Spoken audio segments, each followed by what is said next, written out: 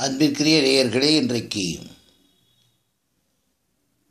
Art of பேரண்டிங்கை பற்றி கொஞ்சம் பேசலாம் என்று நினைக்கின்றேன் மறுபடியும். ஒவ்வொரு குழந்தையும் தனித்தனியானவர்கள் என்பதை ஏற்கனவே நாம் தெளிவுபடுத்தியிருக்கின்றோம்.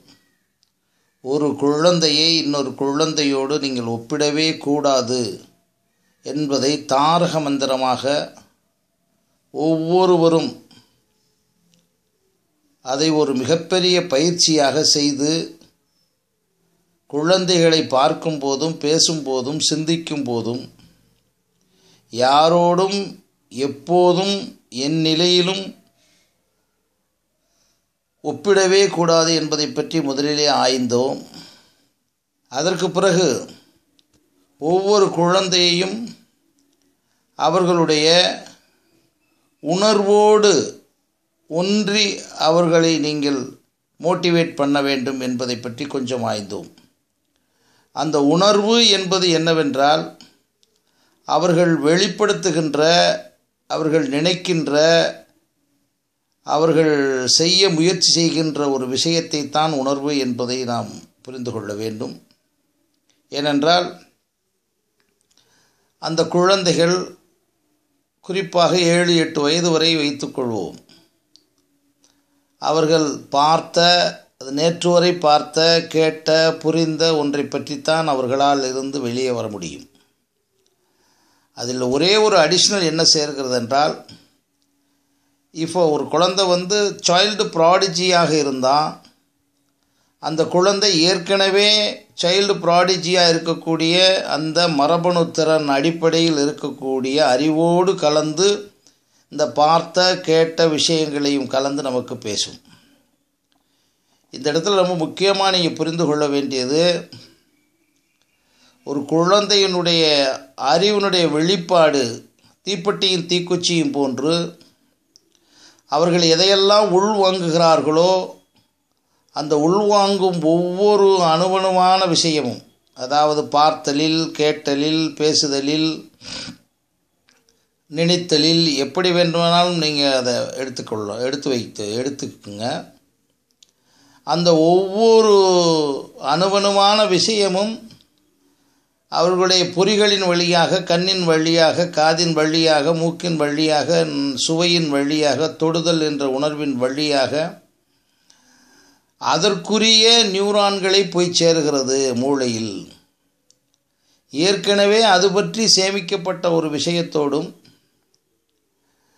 மறுபடியும் அவர்களுக்கு இருக்கக்கூடிய மரபணு திறன்களோடையும் கலந்து கலந்து தான் அவர்களுக்கு நினைப்பாக உச்சரிப்பாக செயலாக வெளிவரும். அப்போ அந்த நொடியில் அவர்களுடைய உணர்வுகள் என்னவென்று நாம் முழுமையாக கவனிக்க வேண்டும்.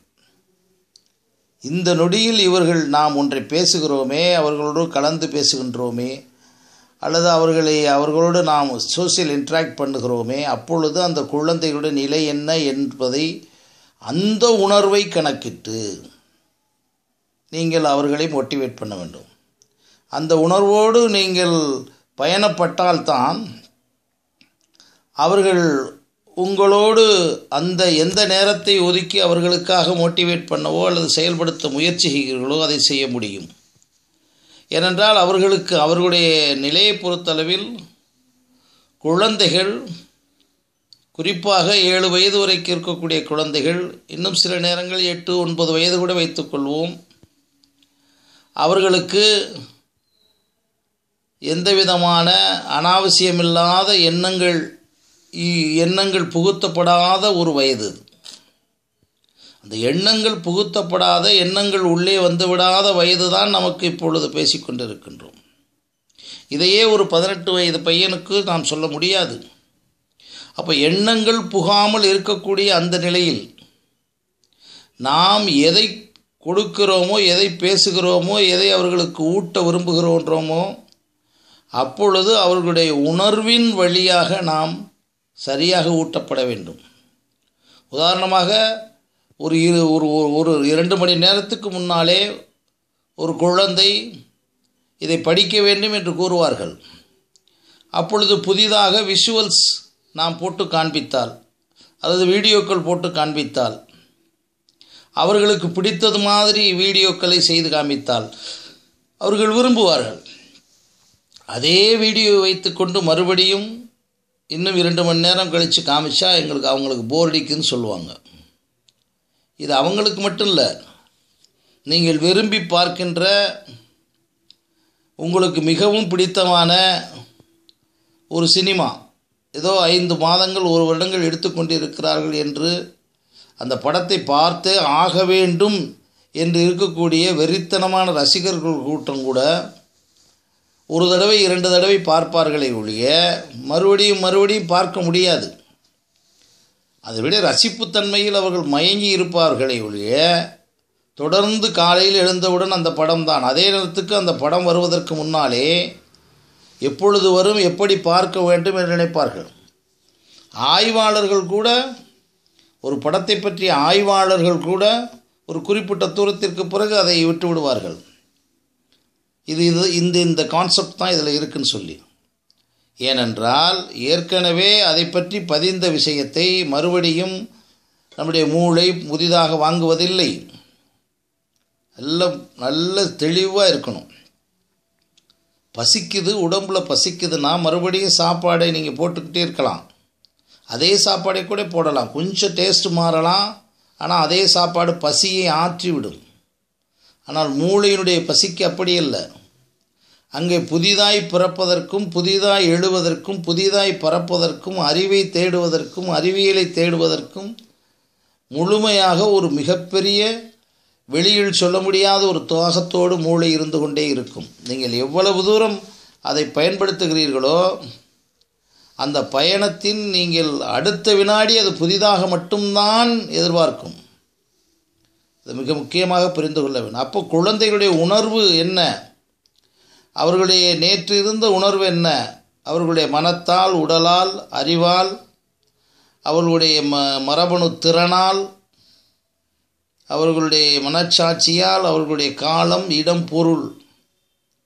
ஏனென்றால் ஒரு குழந்தைக்கு ஒரு பயிற்சியை கொடுக்கிறோம் என்றால் அதற்குன்னு சரியாக சரியாக நேர நிர்வாகத்தின்படித்தான் கொடுக்க முடியும். அவர்களுடைய மூளை நிர்வாகத்துக்கு தக்கபடி தான் கொடுக்க முடியும். அவர்களுடைய பாடி உடல் நிர்வாகத்திற்கு தக்கபடி தான் கொடுக்க முடியும். அவர்களுடைய ஆற்றல் ஆற்றல் எப்படி இருக்கிறதோ அதற்கு ஆகவே ஏற்கனவே நாம் கூறியதை மறுபடியும் நினைவுறுத்தி பாருங்கள். ஒவ்வொரு குழந்தையும் தனித்தனியானவர்கள் ஒவ்வொரு நொடியும் புதிதாக பிறக்கிறார்கள். சூழலுக்கு தக்கபடி. அந்த ஒவ்வொரு நொடியும் புதிதாக பிறப்பு பிறக்கும் ஒரு ஒரு குழந்தைக்கு பெற்றோர்கள் நூறு சதவீதம் அதற்காக ஹோம்ஒர்க் செய்ய வேண்டும். நாம் ஒரு குழந்தையை அவர்கள் எந்த துறையில் பெஸ்ட் இன் த வேர்ல்டாக மாற்ற முடியுமோ ஜீரோவாக இருந்த குழந்தையை ஹீரோவாக மாற்ற முடியுமோ ஹீரோவாக இருந்த குழந்தையை சூப்பர் ஹீரோவாக மாற்ற முடியுமோ சூப்பர் ஹீரோவாக இருந்த குழந்தையை சுப்ரீம் ஹீரோவாக மாற்ற முடியுமோ? அப்படி மாற்ற விரும்பினால் அதுதான் முக்கியமான விஷயம். இப்போ நான் சொல்லக்கூடிய எல்லாமே ஃபார்முலா. அதிலிருந்து எந்த விதமான காம்ப்ரமைஸும் பண்ண முடியாது. நீங்கள் காம்ப்ரமைஸ் பண்ண தொடங்கும் போது தான் தேவையில்லாத நீங்கள் உண்மையிலே இறுதி உரி உண்மையை தெரியாத பல்வித லாஜிகளுக்கு சென்று விடுகிறீர்கள். பல்வித நம்பிக்கைகளுக்கு சென்று விடுகிறீர்கள். பலவிதமான மற்றவர்கள் சொல்லும் அனுபவங்களில் மாட்டிக்கொள்வீர்கள். ஒரு குழந்தை சைல்டு ப்ராடிஜியாக இருக்கும் மூன்று வயதிலே அது ஒவ்வொரு செயலிலும் ஃபயராக இருக்கும். நீங்கள் அந்த குழந்தையை நார்மல் செயலோடு ஒப்பிட்டு என் குழந்தையை இப்படி வளர வேண்டும் என்று அந்த தாயிடம் கேட்டீர்களானால் அவர்கள் சொல்லக்கூடிய விஷயம் உங்கள் குழந்தைகளுக்கு பொதுவான அறிவுரையாக இருக்குமே ஒழிய இவர்கள் அதை நடைமுறைப்படுத்த முடியாது. அந்த நிலையிலே நீங்கள் என்ன செய்ய வேண்டும்? உங்கள் குழந்தைக்குரிய அந்த நிலை இந்த அதாவது அதுக்கு பேர் என்ன சொல்லலாம் ப்ரெசன்ட் பி இன் ப்ரெசண்ட்டில் இருக்கக்கூடிய அந்த நிகழ்வில் அந்த நொடியில் இருக்கக்கூடிய உணர்வு. அந்த உணர்வு எதையெல்லாம் சார்ந்தது? மனத்தை சார்ந்தது. அந்த குழந்தையினுடைய மனம் உடல் அந்த இருக்கக்கூடிய அறிவு மனச்சாட்சி ஏன் மறுபடியும் கூறுகிறேன் என்றால் நீங்கள் ஏதோ அவர்களுடைய உணர்வு என்றால் ஏதோ அந்த இடத்தில் அவர்கள் பேசுகிறார்கள் என்ற உணர்வு அல்ல இவ்வளவும் அவர்களிடம் நீங்கள் சரியாக இருக்கிறதா என்று பார்த்துத்தான் கொடுக்க வேண்டும். உதாரணமாக நீங்கள் அவர்களுக்கு ஒரு அவசர அவசரமாக காலையில் குழந்தைகள் பள்ளிக்கு செல்ல விரும்பும்போது நீங்கள் அட்வைஸ் பண்ணிக்கிட்டு இருக்க முடியாது. அதான் காலம். நீங்கள் அந்த குழந்தைகளுக்கு பிடிக்காத ஒன்றை சொல்லி வம்பு பண்ணி விற்க முடியாது. பிடிக்காத பொருளை கொடுத்து அதான் அதனுடைய பொருள். அதுவும் சில நேரங்களில் நீங்கள் கண்டிக்க விரும்புனீங்கன்னா தனியாக கூப்பிட்டு அன்பாக கண்டித்தால்தான் அவர்கள் ஏற்றுக்கொள்வார்கள் இடம். கண்டிப்பது மட்டுமல்ல எதை எடுத்தாலுமே. ஆக அந்த காலமும் இடமும் பொருளும் அவர்களுக்குரிய அந்த நொடியில் இருக்கக்கூடிய ரொம்ப முக்கியமான விஷயம். அப்போ நீங்கள் அதை பயன்படுத்த அதை கேட்டுக்கணும் அவர்களிடம் நீங்கள் ஒவ்வொரு தடவையும் உங்களுடைய விஷயங்களை புகுத்துவதற்கு முயற்சி செய்யாதீர்கள். அவர்கள் புகுத்தி வாங்குவதற்கு தயாராக இருக்கிறார்களா என்பதைத்தான் இந்த அளவீடு வைத்திருக்கிறோம். அவர்களுடைய மனம் ஒன்றுகிறதா? அவர்கள் ஒன் உடல் ஒன்றுகிறதா? அவர்கள் கேட்பதற்கு அறிவுக்கு தயாராக இருக்கிறார்களா? அவர்களுடைய ஆற்றல் அதற்கு ஒன்றுகிறதா? அப்புறம் காலம் இடம் பொருள். ஏன் இதை நான் இரண்டு மூன்று தடவை கூறியிருக்கிறேன் என்றால் எல்லா பெற்றோர்களும் நூற்றுக்கு தொண்ணூற்றி ஒம்பது பெற்றோர்கள் தோல்வியடைவதற்கு மிகப்பெரிய காரணம் இதுதான். ஆகவே இதை தெளிவாக ஒவ்வொரு பெற்றோரும் தெளிவாக இருந்து கொள்ள வேண்டும். இது முழுமையான அறிவியல் பூர்வமான சுயவியல் கோட்பாடு அதாவது செல்ஃபாலஜி என்று ஒன்று உருவாக்கப்பட்ட ஒன்று. இதில் எந்த விதமான விடுதலும் இருப்பதற்கு வாய்ப்பு இருந்தால் அதை சரி செய்து கொள்ளலாம். ஆனால் தொண்ணூற்றி ஒன்பது சதவீதம் இந்த மேத்ஸ் படி இருந்தால் ஒரு குழந்தையை எதாக ஆக்க முடியுமோ அதாக ஆக்கி கொடுக்க முடியும் என்று தான் நாங்கள் உறுதி கூறுகிறோம். ஒவ்வொரு நொடியும் நீங்கள் பார்க்கிறீர்களா என்று பாருங்கள். நிச்சயமாக இருக்கவே முடியாது. நீங்கள் நேற்று பார்த்த போன வருடம் பார்த்த சில பெற்றோர்கள் கூறுகிறார்கள் என்னிடம். சார் ஐந்து வயது வரை அவன் சரியாக இருந்தான். இல்லை. ஐந்து வயது வரை உங்களிடம் அவன் போரிடுவதற்குரிய உடம்பு வரவில்லை போரிடுவதற்குரிய வேகம் வரவில்லை போரிடுவ போரிடுவதற்குரிய அறிவு வரவில்லை. இன்றைக்கு அவன் பதினேழு வயதில் உலக அறிவு சமூக வள வலைதளக்கூடிய அறிவு சுற்றல் அறிவு சூழல் அறிவு அவன் படித்த அறிவு கேட்ட அறிவு அவன் நண்பர்களோடு அலசி அறிவு அத்தனையும் இருக்கின்றது இதை மறந்துவிட்டு உங்களுடைய வயதையும் உங்களுடைய வாழ்க்கையையும் பற்றி பேசிக்கொண்டிருக்கிறீர்கள் இது தவறு என்று நான் சொல்லுவதற்கில்லை. ஒரு குழந்தையை நீங்கள் வளர்வதற்கு ஆசைப்படுகிறீர்கள் பேராசைப்படுகிறீர்கள். இதற்கெல்லாம் மிகப்பெரிய பெரிய ஒரு வேடந்தாங்களாக இருப்பது பள்ளிகள் என்று நீங்கள் கொண்டு போய் விடுகிறீர்கள். பள்ளிகளில் நடக்கக்கூடிய விஷயங்களை புரிந்து கொள்ள வேண்டும். பள்ளிகள் அவ்வளவுதான் செய்ய முடியும். ஏனென்றால் பள்ளிகளில் பாடங்களை நடத்துவதற்கு மட்டும்தான் ஆசிரியர்கள் பயிற்றுவிக்கப்பட்டிருக்கிறார்கள் அவர்கள் இந்த மாதிரி சுயவியல் கோட்பாடை பற்றியோ ஒரு குழந்தையினுடைய ஒவ்வொரு அணுவணுவையும் அவர்கள் ரசிக்க வேண்டிய அவசியமே இல்லை என்றால் அப்படிப்பட்ட ஒரு கல்வி முறை. அதனால் தான் சொல்லுகிறோம் இந்த கல்வி முறை ஒன் டு ஒன் கல்வி முறையாக மாறினால்தான் இந்தியா வல்லரசு என்ன? உலகத்தையே மாற்றக்கூடிய ஜெனட்டிக்கல் இன்டெலிஜென்ஸ் இருக்கிறது என்று கூறுகிறோம். இங்கே கொஞ்சம் நீங்கள் புரிந்து கொள்ள வேண்டும். உலகத்திலே இருக்கக்கூடிய மனிதர்களிலே தமிழன் இந்தியன் என்று பிரித்து விடாதீர்கள். அதற்கு தேவையே இல்லை. இந்த பூமியில் இருக்கக்கூடிய மனிதன் முழுமையாக உலகத்தையே ஆளக்கூடிய மரபணு திறன் அறிவுள்ளவன். ரொம்ப முக்கியமான விஷயம். அதை நாம் சுந்தர் பிச்சை போன்றவர்களும் மிக உயரமாக இருக்கக்கூடியவர்களும் அங்கே இன்றைக்கு வெளிநாடுகளில் வெஸ்டர்ன் கண்ட்ரியில் இருக்கிறார்கள். அமெரிக்கர்கள் எல்லாம் நம்மை தேடுகிறார்கள் ஆங் நம்மளை தேடுகிறார்கள் என்பதற்கு என்ன கருத்து என்றால் சம்பளம் குறைத்து கொடுப்பதற்காக மட்டுமல்ல இவர்களை ஷார்ப்பனிங் பண்ணிவிட்டால் அவர்களை காட்டிலும் நூறு மடங்கு ஜெயிப்பார்கள். இதை நமக்கு ஜெயித்து காட்டியவர்கள் இதற்கு நமக்கு ஆல்ரெடி உதாரணங்கள். திருவள்ளுவர் இருந்திருக்கிறார் சுவாமி விவேகானந்தர் இருந்திருக்கிறார் புத்தர் இருந்திருக்கிறார் போதி தர்மர் இருந்திருக்கிறார் அப்துல் கலாம் இருந்திருக்கிறார். இப்படி ஒவ்வொன்றாக செய்யலாம் இன்றைக்கு இறையன்பு போன்றவர்கள் இருக்கின்றார்கள். இன்றைக்கு சைல்டு ப்ராடிஜி இந்தியாவில் எவ்வளவு முக்கியமான ப்ராடிஜியாக இருக்கிறார்கள் என்று உங்களுக்கு பார்த்தீர்களானால் இது என்ன? உலகத்தையே ஆட்டி படைக்கக்கூடிய அதாவது நேர்மறை ரீதியாக அத்தனை ஜீன்ஸ்கள் இருக்கிறது. அப்படிப்பட்ட ஒரு குழந்தைகளை நீங்கள் அவர்களுடைய உணர்வின் வழியாக பயணம் செய்ய வேண்டும். ரொம்ப முக்கியமான விஷயம். உணர்வுக்கும் அறிவுக்கும் கொஞ்சம் டிஃப்ரெண்ட் இருக்குது அப்புறம் சொல்கிறேன் ஒவ்வொரு நொடியும் அவர்கள் எதை உள்ளே வைத்திருக்கிறார்களோ அந்த உணர்வு என்பது இந்த எட்டையும் கலந்த உணர்வு. மனத்தினுடைய உணர்வு உடலினுடைய உணர்வு அறிவினுடைய உணர்வு மனச்சாட்சியினுடைய ஒரு உணர்வு மரபணு திறனுக்கு தகுந்த உணர்வு காலம் இடம் தகுந்த இந்த எட் இந்த எட்டு விஷயங்களும் உங்களுக்கு வந்து உணர்வின் வெளிப்பட்டதாக இருக்கணும். பத்து மணிக்கு உட்காந்தாச்சு பதினோரு மணி வரைக்கும் வகுப்பு நடக்கணும். இல்லை அதுக்கு தான் நாங்கள் என்ன சொல்லித்தரோம் அந்த பத பதினோரு ஒரு மணி நேரமும் கான்சியஸாக இருந்தீங்களா? நான் கூட கொஞ்சம் அழுத்தி சொன்னால் கான்சியஸ்னஸோடு இருந்தீங்களா? ஏனென்றால் பாடம் நடத்துபவரும் ஒரு மணி நேரம் அவர் நடத்தும் போது ஹோம்ஒர்க் வந்து அந்த குழந்தையை புரிய வைக்கும் நிலையில் ஒவ்வொரு நொடியும் வீணாக்கக்கூடாது என்று அந்த வீணாக்காமல் இருப்பதற்குரிய ரகசியங்களோடு உட்கார்ந்து சொல்லிக் கொடுப்பது தான் உணர்வு மிக்க கற்றல். கற்பித்தல். அதே மாதிரி அந்த குழந்தையையும் கற்க வேண்டும் என்ற உணர்வை உருவாக்கி அல்லது உணர்வு உருவ கொண்டு வந்து அவர்களை சொல்லிக் கொடுப்பது தான் காலத்தின் உணர்வை உணர்தல். அதான் டைம் மேனேஜ்மெண்ட் சொல்கிறோம் டைம் கான்சியஸ்னஸ்ன்னு சொல்கிறோம் டைம் மைக்ரோ மேனேஜ்மெண்ட் சொல்கிறோம் டைம் மைக்ரோ கான்சியஸ்னஸ்ன்னு சொல்கிறோம் அப்படின்னா என்ன அர்த்தம்?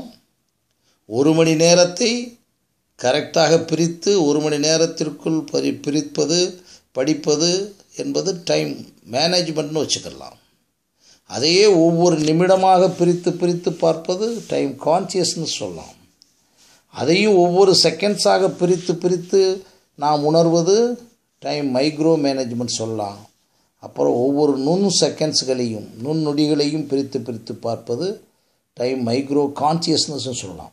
அப்படின்னா என்ன? இவ்வளவு நேரங்களையும் ஒவ்வொரு நேரத்தையும் ஒவ்வொரு குழந்தைக்குள்ளேயும் இவ்வளவு இருக்கிறது. இப்போ நான் பேசிக்கிட்டு இருக்கேன்னா இப்போ ஒரு பதினேழு நிமிடம் நாற்பத்தைந்து வினாடிகள் பேசியிருக்கிறேன் என்றால் நான் பேசும்போது அந்த நேரத்தை பார்த்து கொண்டே பேசுகிறேன் அல்லவா? எனக்கு வருகிறது. ஆஹா இந்த நேரம் போய்கொண்டிருக்கிறதே இந்த நேரத்தை நான் எப்படி பயன்படுத்துகிறேன்?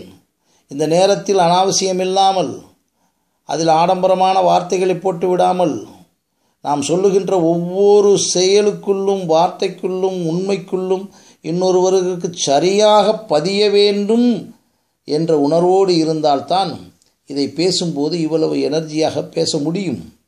இல்லை என்றால் கடன் வாங்கி பேசுவது போல சொல்லுவதை சொல்லுவது போல கேட்பதை கேட்பது போல எல்லாம் கவனித்தல் மாதிரி என்று சொல்லுவோம்.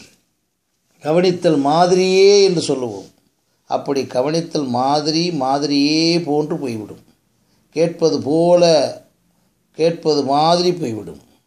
அதனால் தான் சொல்லுகின்றேன் ஒரு குழந்தையினுடைய வளர்ப்பினுடைய பெரிய ரகசியம் நீங்கள் ரைம்ஸ் சொல்லிக் கொடுப்பதல்ல நீங்கள் வெறும் அல்பபெட்டிக்கு சொல்லிக் கொடுப்பதல்ல நீங்கள் தமிழ் வார்த்தைகளை சொல்லிக் கொடுப்பதல்ல ஆனால் இந்த எட்டுடைய உணர்வின் வழியாக பயணம் செய்யப்பட வேண்டும். அப்பொழுதுதான் ஒரு குழந்தை வளர்ப்புடைய முதல் நிலையிலிருந்து தப்பிக்கிறீர்கள். அதற்கு பிறகு அவர்களுடைய அறிவின் வழியாக அந்த அறிவின் வழியாக என்பதை பற்றி மறுபடியும் தீர்க்கமாக உங்களோடு பேசுகின்றேன். ஏற்கனவே கொஞ்சம் சொல்லி இருக்கின்றேன் மறுபடியும் இவைகளை கொஞ்சம் சிந்தித்து பாருங்கள். அறிவின் வழியாக அவர்களுடைய ஆற்றலின் வழியாக அது அப்படி ஒவ்வொன்றாக சென்று எப்படியெல்லாம் அந்த ஒவ்வொரு மேனேஜ்மெண்ட் சொல்லுவோம் நாங்கள் அதாவது food management body management time management அப்புறம் அவங்களுடைய பிரெயின் மேனேஜ்மெண்ட் பொட்டன்ஷியல் மேனேஜ்மெண்ட் எல்லாவற்றையும் முழுமையாக ஐக்கியப்படுத்தும் நிலையினை பற்றி மறுபடியும் உங்களுக்கு தொடர்ந்து சொல்லுகின்றேன்.